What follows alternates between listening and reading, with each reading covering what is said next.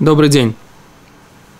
Один из ярких моментов нашей недельной главы – это борьба Якова с ангелом Исава. Яков остался или вернулся за какими-то забытыми предметами на другой берег, и там его встретил ангел Исава и боролся с ним до утра. Яков его победил. ангел Исава не смог победить Якова. Но Яков получил в этой борьбе, в этом поединке повреждение или ранение. Тура говорит, что Яков после этого поединка хромал и получил повреждение Б гид анаше, да, сухожилие, которое соединяет тело и бедро, да, то есть это седалищный нерв, так его говорят, да, или то есть Яков в том месте, где нога прикрепляется к туловищу, там получил Яков повреждение, ранение от этого ангела. Что это значит? Почему именно там смог повредить ангела Исава? И что это означает в нашей реальной теперешней жизни? На этот вопрос дает ответ книга Зор, ни больше, ни меньше. Книга Зор говорит так, что ангел Эйсава, ранив Якова в ногу, Пога бы тамхин деурайса. Он повредил или ранил. Тамхин – это поддерживающих деурайса, Тору. Он ранил поддерживающих Тору. Или ранил в поддерживающих Тору. Что это значит? Поясним.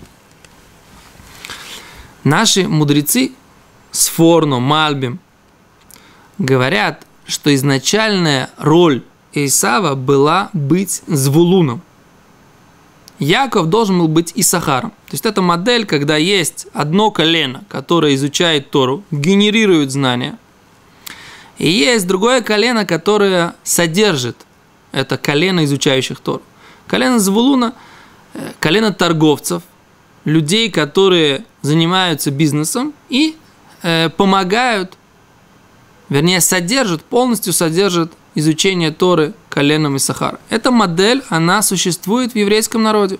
Она стала частью идеальной картины сочетания в, еврейской народе, в еврейском народе. Оказывается, такая картина должна была быть между Яковом и Исавом. Исав должен был быть э, бизнесменом, который выполнял бы функцию Звулуна на кораблях, на самолетах, делать человек, который занимается мировым бизнесом, а Яков должен был быть э, цельным праведником, находящимся в шатрах.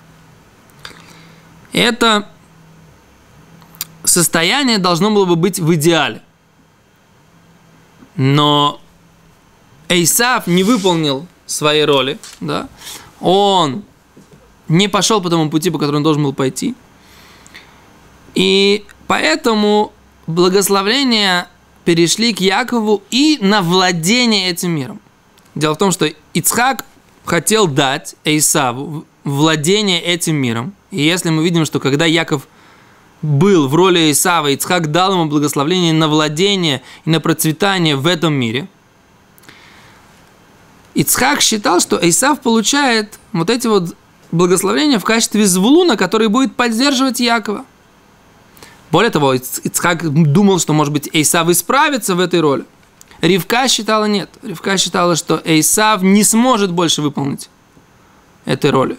И поэтому нужно оба благословения должен, должен получить э, Яков. И именно так посчитал Всевышний, так написано в Мидраше, в Мидраше, что именно в тот момент, когда Ицхак понял, что произошла ошибка, что это не Эйсап. Он задал вопрос, кто здесь обманул. И Медраж говорит, что Всевышний сказал, Эйсав здесь обманул, Эйсав здесь не выполнил свою функцию, поэтому благословения попали к Якову правильно, поэтому Ицхак сказал, да, Гам Барухе, пусть он будет благословлен. О! Теперь вот эта модель из Сахары из Звулуна, она стала внутренней моделью еврейского народа. Яков, Як, внутри Якова есть Звулун и Сахар. Но Исав продолжает претендовать на то, что он будет звулуном. Но он уже не может этого сделать. Он не выполнил свои функции. И поэтому по правилу от любви до ненависти один шаг, он ударяет Якова именно в то место, где он должен был быть. Он должен был быть поддерживающим Тору. Он должен был бы быть звулуном. Он должен был быть той ногой, которая, с помощью которой двигается тело Торы. Он должен был быть тем, кто дает возможность ноге стоять. Тамхин это еще и опоры.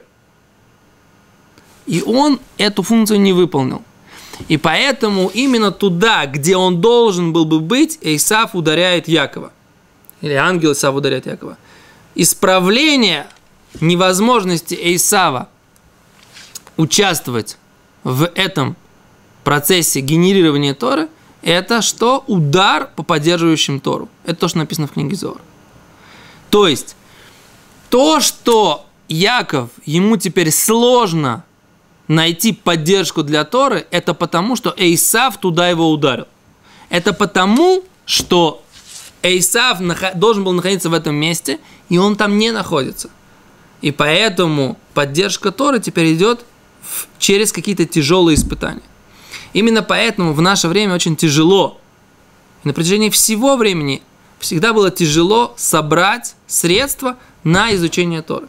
Обратите внимание, очень часто, и мы не хотим сейчас сказать, что это неважные заповеди, намного легче собрать э, средства для больных, и это очень важная заповедь, для вдов, сирот. Но объяснить людям, почему взрослые, молодые, сильные люди – как вот здесь в Израиле, должны учиться в Ешиве и не идти в армию, например.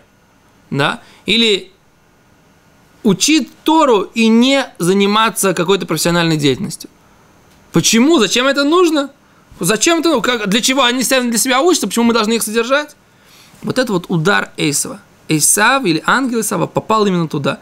Люди не до конца ценят, не понимают, почему это важно изучение Торы, и что их роль в поддержке Торы дает возможность Торе стоять, а они имеют смысл э, существования, есть жизнь. Еврейский народ продолж... является генератором Торы, и тогда есть смысл в этом э, всему, вс... всего, что происходит. Если еврейский народ не генерирует Тору, то тогда зачем? В, в чем смысл еврейского народа? В чем смысл Якова, если он не генерирует Тору? Когда есть в Якове и Сахар, и Звулун, есть генерирующие Тору, а есть поддерживающие этот процесс, то они получают равную долю в этом процессе изучения Торы. Но здесь ударил Эйсов. Он хотел быть в этом месте, ударил в это место. И поэтому тяжело, трудно людям понять и пожертвовать на Тору. Почему? Потому что вот эта вот оценка деятельности Якова туда, там, где она стоит, там, где она опирается – туда ангел Исава ударил. И поэтому, когда кто-то думает, что он не понимает, зачем нужно учить Тору, или зачем нужно жертвовать на изучающих Тору, или зачем Бушхурим не идут в армию, или зачем они занимаются Торой и не занимаются какой-то профессиональной деятельностью, нужно понимать, что это может происходить от того, что просто-напросто ангел Исава ударил вот в это понимание. И исправление, вот этот тяжелый путь, это, возможно, искупление греха или, возможно, искупление того неправильного пути, который Исав избрал. Не знаю, но Ливайса, по факту, да, нужно понимать, что это может быть просто дурное начало. Человек должен понимать, что когда он Том Хиндеурайса, он опора Торы – от этого от него не убудет, и наоборот. Он выполняет оригинальную функцию Якова. Большое спасибо.